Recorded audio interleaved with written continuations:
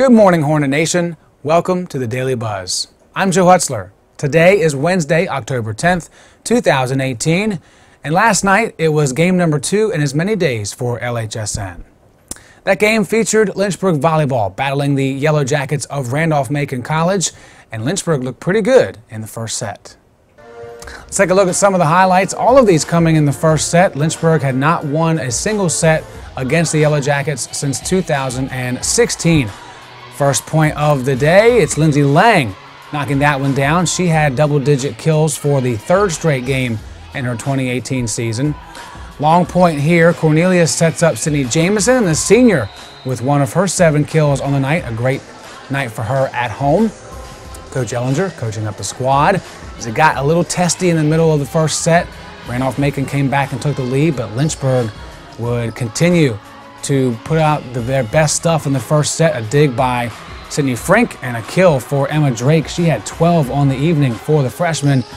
A late rally by the Yellow Jackets, but it wasn't enough in set number one. Lynchburg took that one, but Randolph-Macon would take the next three to come out of Lynchburg with a 3-1 win. Sydney Frink with 11 kills and 9 digs. Lynchburg drops to 3 and 4 in conference play. All right, let's move on to Hornets in action today. We have three games for you. The first at 4 p.m. from Bridgewater College, which is in Bridgewater, Virginia. It's a big one.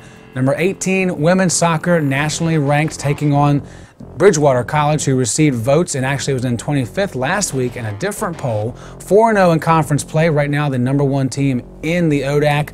Lynchburg women's soccer a bit scorned after last week, so look out, Bridgewater.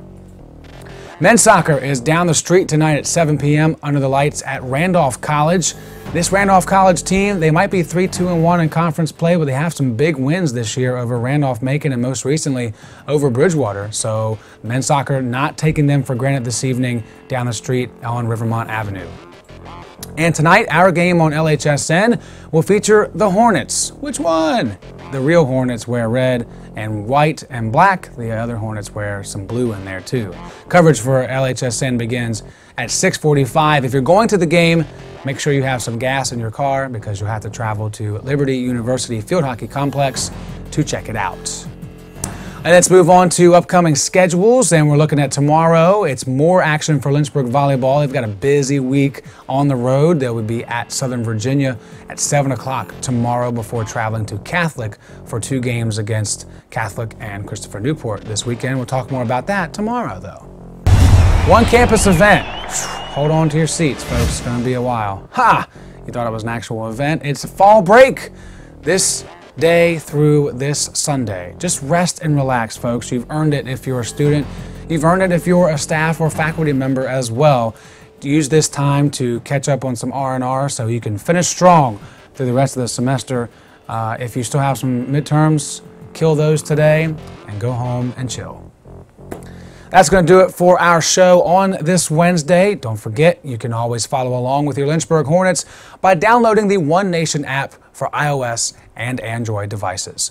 Until tomorrow morning at 7 a.m., I'm Joe Hutzler, reminding you that it is a great day to be a Hornet, and we are One Nation.